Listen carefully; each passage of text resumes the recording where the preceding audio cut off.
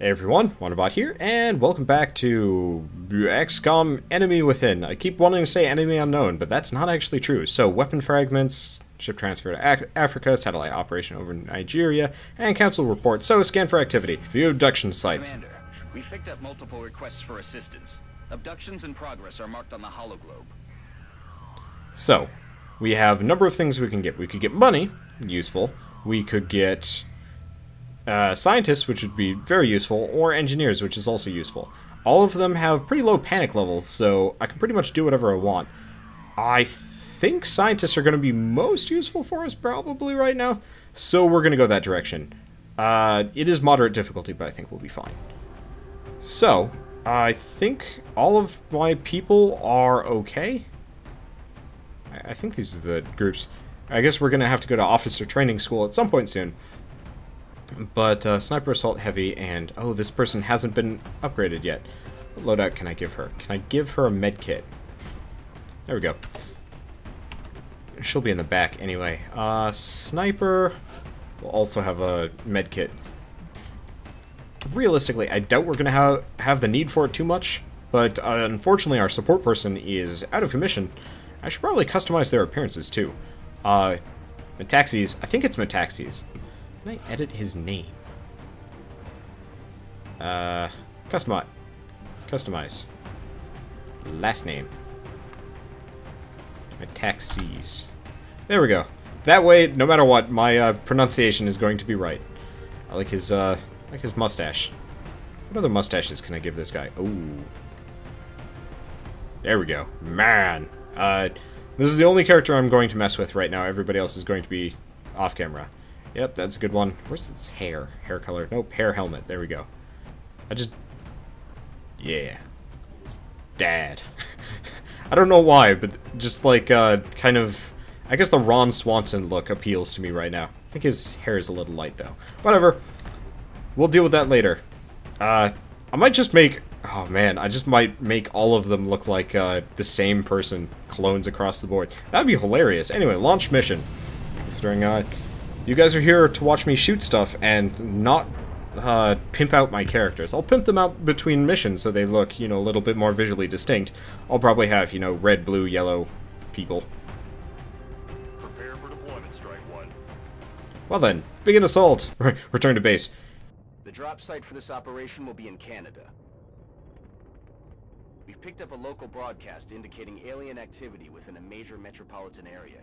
We should get down there and eliminate any hostiles. I was really hoping he would just say, our location's going to be Canada. And it's like, yes. Okay. But no, he actually kept talking, so good for him. Anyway, uh, neutralize all hostiles. I don't actually know if they're civilians. I don't ever remember there being much... Oh, yeah, there were. But usually it was like VIP missions, I think. I, I, don't, I don't remember. You guys probably know more about this game than I do, realistically. I mean, kind of depends on who's watching. If you've never seen an XCOM game before, you probably don't know more than I do. I've never actually played any of the older XCOM games either, which, you know, I'd like to, but the problem is... This is Central. You are free to engage all hostile contacts in the AO. Don't take any chances. Problem is, I am very picky about my, like, uh, my games and, like, how they look.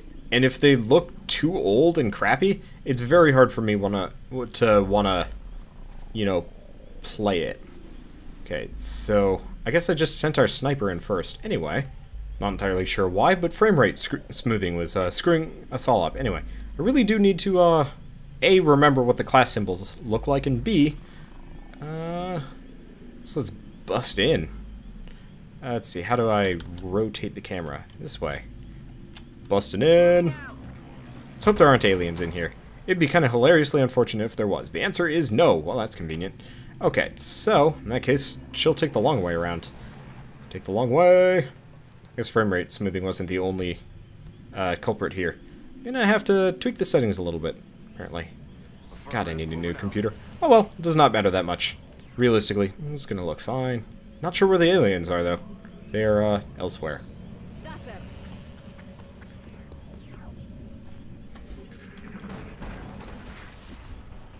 Well, there they are. Oh, maybe it's around the canister? I have no idea, but there's like something on the... oh, What the... heck was that? There's a thing. Uh, he does not have sight of it. Oh, it's it's one of the beacons. Well, we know what this guy's job's going to be. Uh, I think he's the sniper too, which is actually kind of a problem because I probably shouldn't be uh, sending him into... Oh, move and fire... Oh dear. Well then, in that case, hunker down. Hope for the best. Uh, this lady's, I guess, just going to take the alternate way around. Let's see, where can I go? This place maybe has cover. I'm not. I don't want to go too far, so I don't not sprinting. Oh, oh, there are aliens in there. I think she has her grenade, but unfortunately, they're not in a good spot for grenading. Well, uh, can't fire the rocket at the same time, so we're just gonna have to uh, spray and pray. Can I hit him? Hmm. Can I hit the other guy? Yeah. Let's just hope for the best here. Answer is hoping did not work out. Okay, so we've got a couple of things we can go ooh, up. There we go. That's how you go up. In that case, uh, this is going to be... Oh, this will work. I'm gonna send this guy up. I think he's the assault man, which is kind of hilarious, but uh, I guess he's going to pretend he's a sniper for today. The question is, are there going to be any aliens for us to even get close to? I guess we can uh, go up and over on the roof and stuff. And then this guy, I'm going to plop him... I'm just to plop her, sorry. And... Overwatch, I guess. Because it looks like there's the exploding thing over on the left, this woman's going to have to uh, kind of tango with these guys unless they decide to go different directions. Oh, he's boosting the other one. I forgot that they do that. Well, uh... Interesting set of events. I guess worst comes to worst, Mr. Uh, Rooftop Man can do things for us. Or not. I don't know. Hard to tell. Please miss. And she missed. Okay, so... Goal is right now take out the guy that's boosting the other one, I think. And then can he hit? Yes. Who can he headshot? Yes. Have a headshot.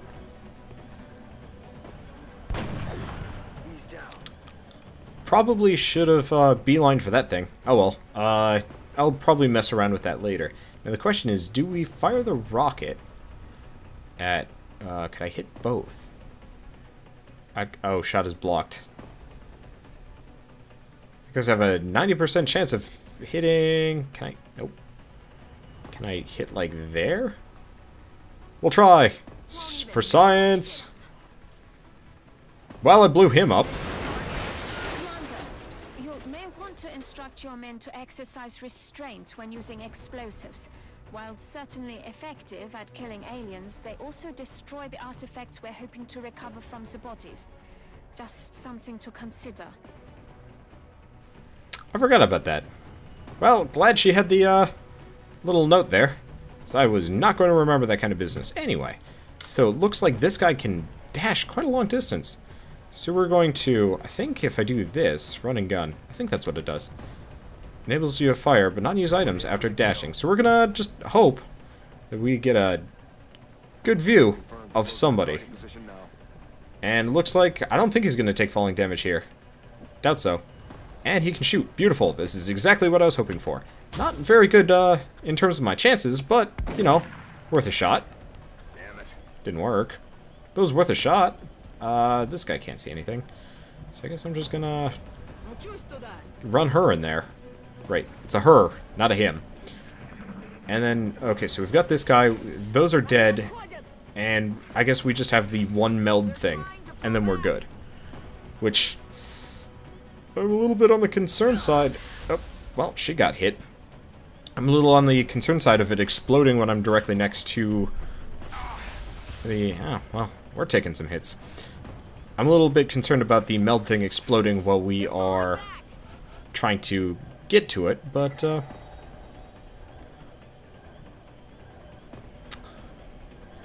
well, no time like the present to uh, find things out. Hopefully it doesn't explode and immediately kill my sniper, but if it's going to, just get it, just get it quick. Just grab it. You're right there.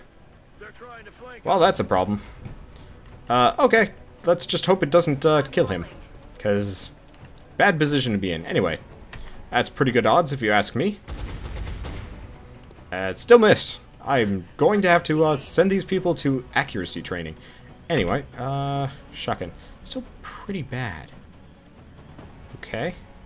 Oh, shoot, that's not what I wanted to do. Well, I still, I think I still took it out. Awesome.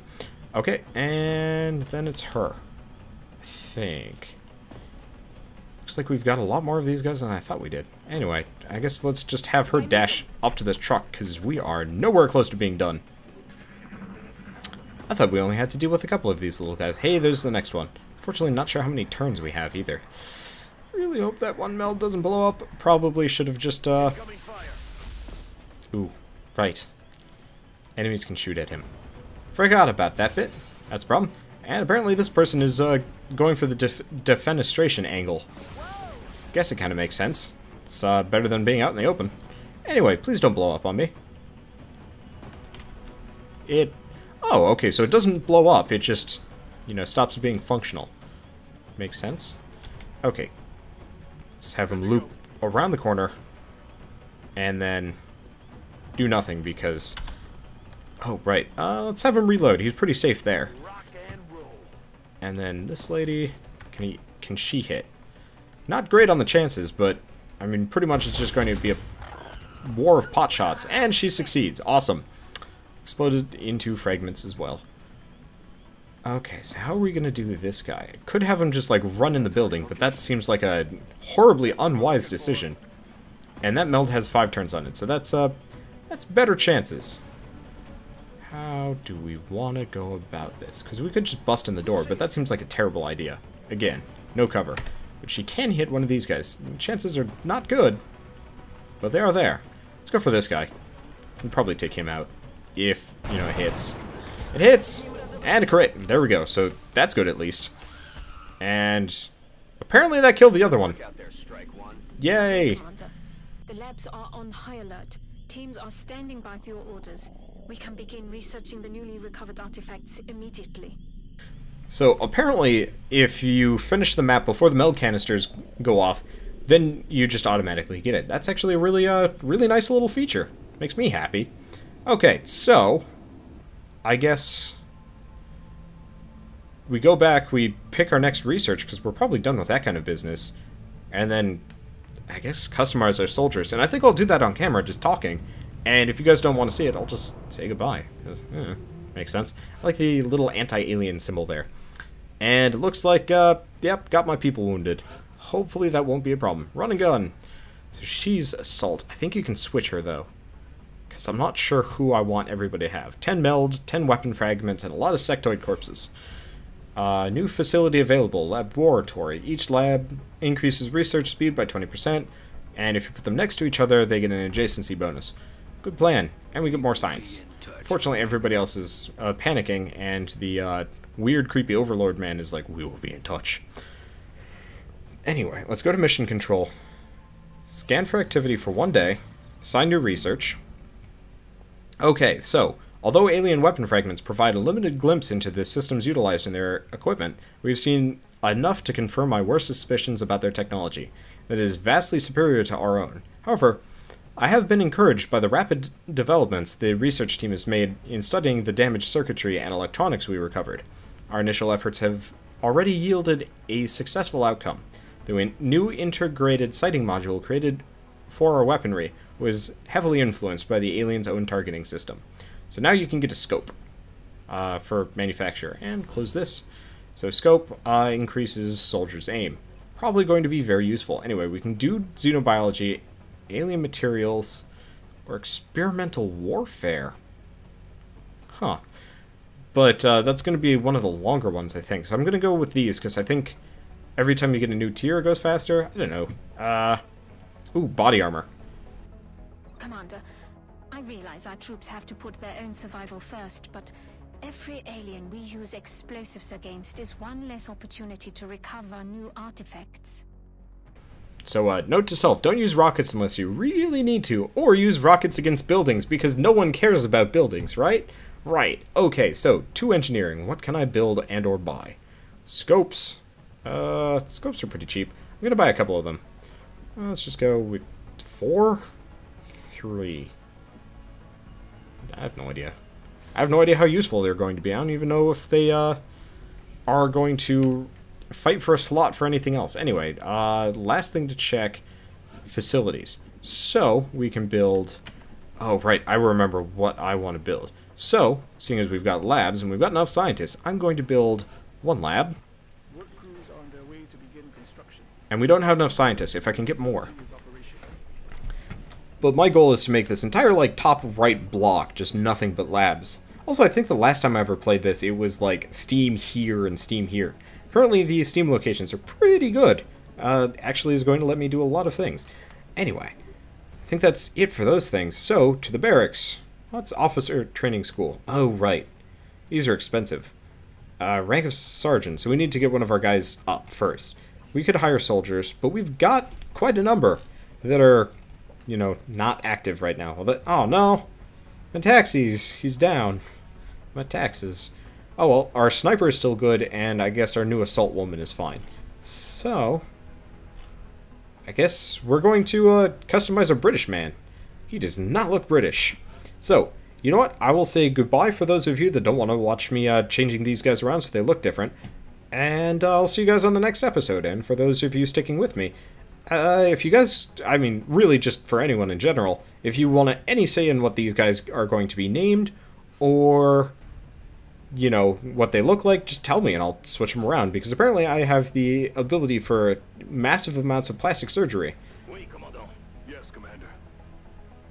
The French one is uh, maybe a little silly. Commander got it covered. Affirmative. Good to go. Yes, Commander. Good to go. Huh. And they actually have a number of voice backs for each character. Cool. Anyway. Wow. It's quite the difference on all these faces. It actually kind of works. Is that more like American-y? Kind of hard to tell. Oh, customize. Uh, we're, we're just going to keep him fairly default to what he is. I think I've already managed to change his face around. Okay, well, whatever. I hate his hair. His hair is awful. So, what kind of... He's a sniper. So what would a sniper have? Probably less on the hair. Ah, apparently right-clicking closes out of it. That's a problem. Uh, that old man here. I wish I could, you know, zoom in specifically on his face and look around. It's like a, you know, Caesarish haircut. I mean, it's Beatlesy or Biebery for sure, but not keen on that. Oh hell no. Uh, well, we're gonna have one guy with that haircut for sure, because that's hilarious. That's an awful helmet. It's okay. No, no, no, no. Well, yeah. Actually, wow, there's a lot of helmets here. I like how they uh, don't always spawn in with the most amount of like modeling on them. That's actually really cool. I think once I get the characters more heavy armor, I'll start giving them helmets. Well, there we go. We found the helmet for our sniper. I think. I'm just going to keep going down the list, seeing as we've got a number of things to look at. But I... Wow. A trilby. Uh, okay, it was 36. There we go. Uh, for some reason, he really looks like a Spartan. Kinda. But it works. I like that. I like the uh, little British flag, too. Let's see. Seeing as he's going to be a sniper, what color can we go with? Hair color. Haha! -ha! Hair color. Uh, skin color. He could be any color. It does not matter. Anyway, armor tint. Okay, so these are different color sets. Seeing as he's going to be the sniper. Uh, there we go. That's probably a good one. So remember 10. I want to see if I can... New. No! Do not want to dismiss him. Curse my fat fingers. Anyway, armor 10. 10 is probably going to be what we go with. That's not bad. A yellow jacket look. Uh, but I wanted to see if I could find some uh, different black. That's actually not bad. I like this. I like this is a good one. And then Armor Deco. Oh, it's just the different armor types. I think they've added to them, because this one's cool. I, I, like it for the sniper. It does kind of make him look like, um... Oh, shoot, that villain from Metal Gear Solid, but I'm totally okay with that, because it looks a little bit on the lighter side. Also does kind of look like he should be blowing things up. Anyway, so that's uh, Jack Wright, aka uh, Filbert Stevenson. I don't know. Uh, if you guys want to make up really silly names for these guys, I'm open to suggestions. And or if you want me to name them after uh, other YouTubers I hang out with. Or other YouTubers I don't hang out with. Or yourself. Heck, if you want to be uh, named something, tell me and I'll make you one of the uh, expendables or something. Eh. Okay. And, of course, going to give this guy a scope. Because, well, sniping. Body armor, can't change anything. Sniper, pistol, can't change anything. Okay, so, next person.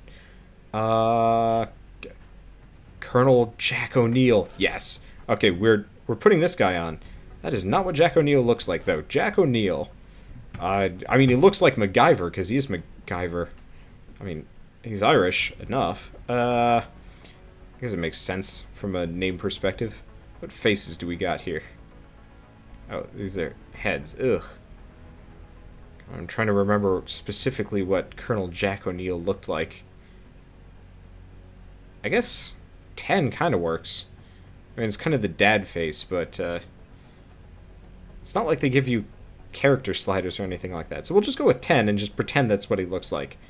Uh, he was actually kind of pale. He did not have a mustache, so no facial hair whatsoever. Could actually make him look very, uh, very silly.